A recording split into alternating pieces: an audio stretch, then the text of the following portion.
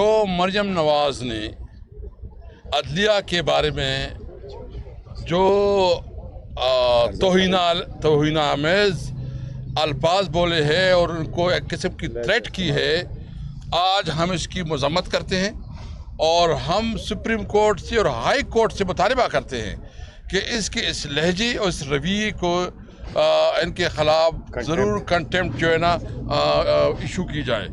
क्योंकि वो जिस तरह समझ रही है कि शायद ये अदलिया उसके मातहत है, जिस तरह वो बात कर रही है शायद वो इस मुल्क के बादशाह है, इस तरह ये जो चलाना चाहती है तो इसलिए नंबर वन में उसकी रवि की मजम्मत करता हूँ। दूसरी बात यह कि पाकिस्तान तहरीक इंसाफ, जो सुप्रीम कोर्ट ने कहा कि एक सियासी जमात है, किसी तौर पर जो है ना इसको बैन नहीं किया गया है, इसके दफ्तर पे किस कानून के तहत हमला किया गया? किस कानून के तहत हमारे जो इंफॉर्मेशन सेक्रेटरी है। उसको गिरफ़्तार किया और ख़वातीन और जो मुलाजमीन थे, उसको गिरफ़्तार किया गया।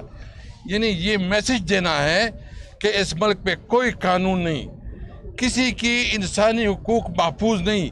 ये मुल्क जो है, ये ताकत के ज़ोर पे चलाया जाएगा।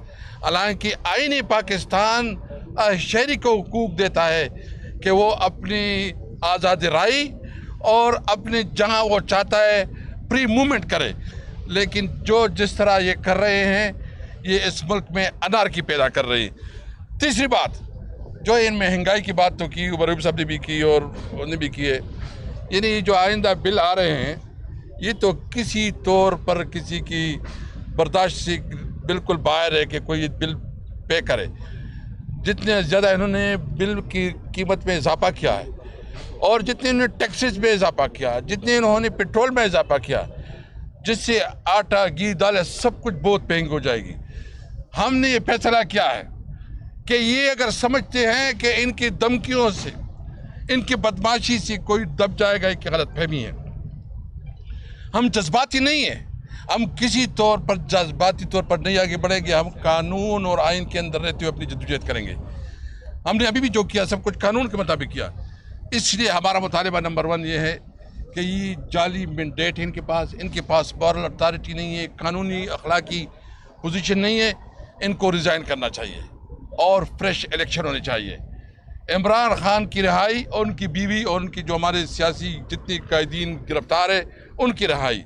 और जो पूरे मुल्क में इस वक्त बदमनी की लहर दौड़ गई है इन्होंने तो सिर्फ़ हमारे सूबे को टारगेट किया हुआ है। और उनका ख्याल है कि जो बनों में कुछ हो रहा था, इनको हमारे गले में डाल के कोई और जो ना हमारे खिलाफ कोई प्रोपेगेंडा का रास्ता निकालना था। आप सारे साहबी इसमें काफ़ी लोग उस इलाके से भी होंगे। लाखों का मजमा था। लाखों के मजमे में आप जो पीसफुल लोग थे, वो लोग तो अमन चाह रहे थे। और क्या चाह रहे थे? और आप अमन वाले लोगों को भी दहशतगर्द डिक्लेयर करें तो बहुत अफसोसनाक है। हम मुल्क में अमन के लिए जदोजहद करेंगे। ये हमारे बच्चों का मुल्क है। इस मुल्क में कानून और आइन के मुताबिक चलाएँगे।